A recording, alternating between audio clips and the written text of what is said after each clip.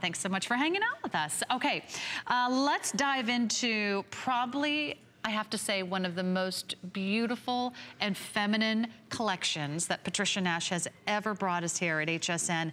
This is brand new. Remember when I gave you a sneak peek at that little flowered thong sandal and I said there's yes. going to be a bag to match? This is it. And as far as I can remember, I've never seen this color of leather. We'll talk about that in a moment, but let me walk you through your choices because there's three different styles that you can have. They're all done in the same leather. The first one, we are calling this one the crossbody. Yes, yes this is the, the crossbody. And this is gonna be 169 today. This is the Sadavi framed crossbody. It's brand new.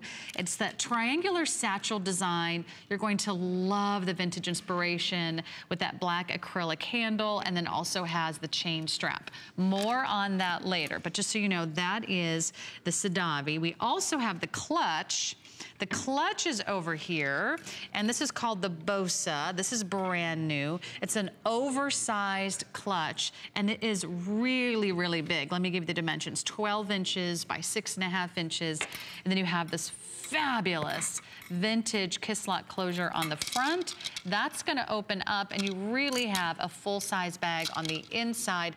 All the bags have this bright, hot pink faux suede lining. That is like just incredible. Has a chain that you can uh, throw over your shoulder strap as well. There's one more style, and that's going to be our leather wristlet, which I just have to say is probably one of the ultimate gift ideas for Mother's yes. Day that we'll have. It's done in this beautiful, genuine leather. It's only $69, and it's still substantial, nine by six and a half. You do have the six and a half inch strap as well. But where should we begin? I know.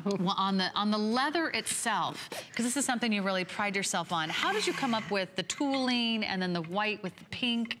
Well, you know, this type of process, it's like an over dye process on leather.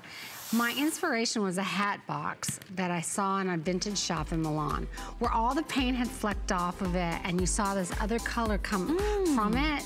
And I don't know, it just, I thought that it looked so charming. So I started developing it on leather and then came to do these different metallic colors like in the pinks with the white. And it just was so feminine and so fresh and new, but felt so, so old world, charming. Yeah that I put it in these feminine what styles. About a gift for bridesmaids? Oh, or the bride oh, yes. herself? Oh yeah, the I mean, like there's a graduation, spring prom.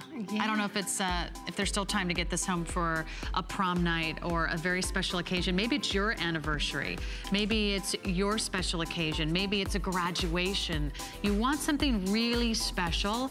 Uh, this bag I couldn't recommend more highly. It's beautifully done. Each one has its its own sort of shape, its own sort of vibe. Again, there's three choices. The first one is going to be, we're calling it as a crossbody, but it really is a satchel. Uh, yes. as far as the, the design inspiration. Let me show you this fabulous hinged top, which has this black acrylic rounded handle.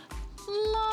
Isn't that beautiful? Very what? Is that 1920s? Is that 1930s, 1940s? Yes, it went on for probably this. about 30 or 40 years. Then this started a, in the 1920s. Another little uh, vintage kiss lock closure here. Okay, we're out of time, so uh, I guess they're they're taking the bags away as we speak. So final look. Now the clutch is on Emily on the right-hand side, and then there's the satchel on Miss Kate, and it's so fabulous. Yeah, the clutch is also a great gift idea, and I like that with the clutch, you can use it with or without the chain strap. Yes. You can just sort of grab and go. They all have this really bright hot pink lining, which is just to die for. Yeah, so fabulous. Okay, we gotta go. But that is uh, the brand new look from Patricia